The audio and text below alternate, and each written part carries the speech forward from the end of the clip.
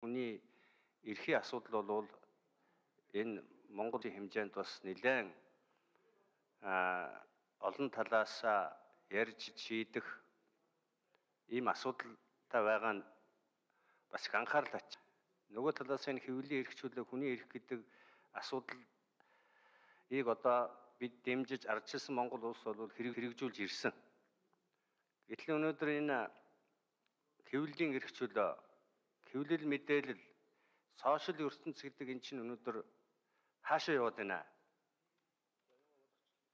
Бага насны хүүхдийг гэмт хэрэгт уруу татахыг урайлсан, бэлгийн дарамтанд оруулахыг урайлсан, хүчээр хийлэл садар самуун энэ үндэсний ясны хооронд яс хайсан Монгол улсын тусгаар тогтнол гадаад бодлоготой холбоотой энэ асуудал дээр одоо нийгмийн тархийг угаасан ийм юм өнөөдөр Монгол улсад газар авлаа.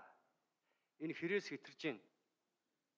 Энд Монголын төр шийдвэр гаргаж энэ асуудал дүгнэлт гаргахгүй мó? Бид нар одоо нэг хууль гаргаад бөөн асуудал болоод тэгэл эргээл ерөнхийлөгч хориг тавиал ингээл цуцалж л байсан.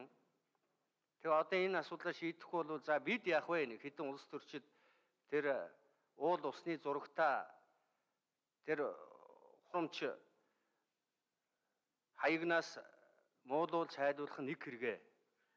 Энэ бол бид төвчээртэй энэ хандна. Гэтэл өнөөдөр энэ асуудал чинь бүр хитрээд геополитик Монгол улсын гадаад бодлого энэ асуудал хариад орчлоо.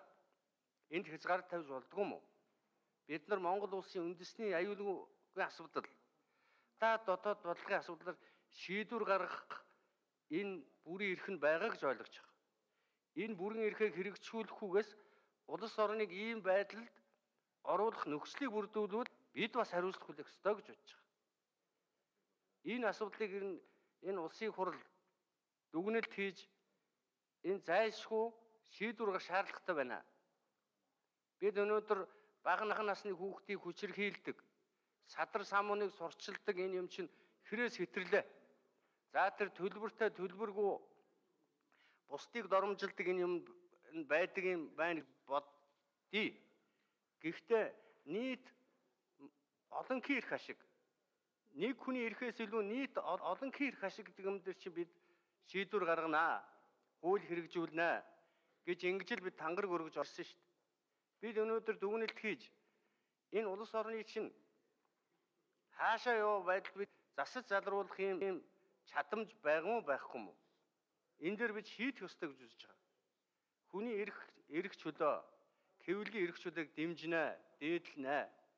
Тэгвэл хэмжээнээс хэтэрсэн улс орны аюулгүй байдал и асуудал Монгол улсын тусгаар тогтлын асуудал геополитикийн асуудал шийдсэн ийм юмар өнөөдөр нийгмээ талцуулаад хагаралдуулаад сүүн ямар байдалд бид энэ ард түмнээ эх орноо авч орох гээд байна. Энэ дээр бид өнөөдөр яагаад шийдвэр гаргахгүй байна? Бидний шийдвэр гаргах яагаад хүсэхгүй байна? Энэ ямар нөлөөлөлд автаад байна? гэдгийг бас бид бодох ёстой гэж бодож байгаа.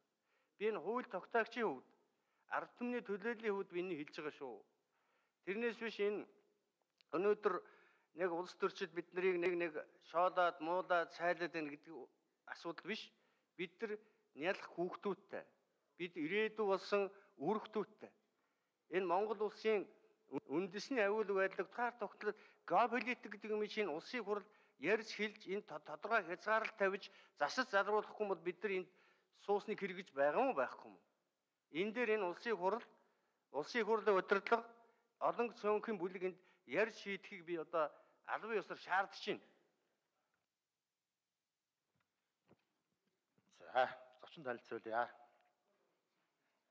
Улсын хурлын гишүүн Чинбатын Ундрам, Жаргал тулгын Эрдэнэт, Дамдын сүрэнгийн өнөр болрол нарын урилгаар Сэлэнг аймгийн зүүн мөрөн сумын ерөнхий улсролын сургуулийн багш ажилтнууд болон Сүхбаатар сумын 5 дугаар сургуулийн 12 А ангийн багш сурагчид